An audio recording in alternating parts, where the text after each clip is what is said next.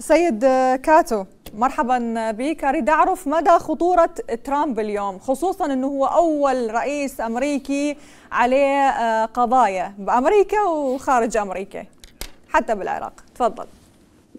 بداية سترانيا يشرفني أكون أول شخص أطلع يعني في القنوات بعد يومين من الاحتفال الشرف أيضا.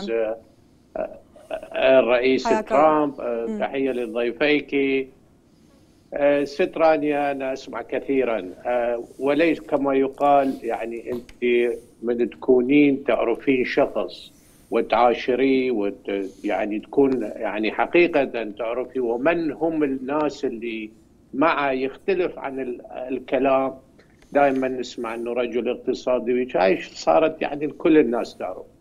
ولكن حقيقة تسأليني وأنا أعرف يعني ترامب من الدورة الأولى وبعدين هاي صارت ثمان سنوات وأنا قبل ست سبعة أشهر يعني أعمل كأحد العاملين في حملته الانتخابية والتقيت بمرتين وكذلك بالفريق.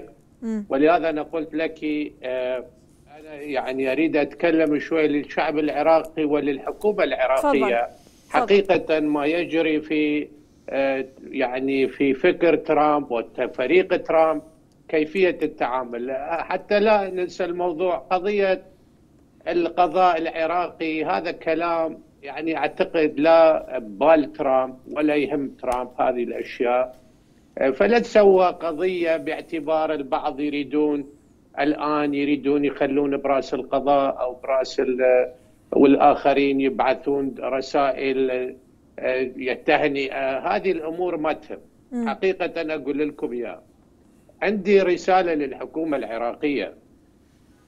أنتم يجب تعلموا إن ترامب مو بايدن وليس فريق بايدن.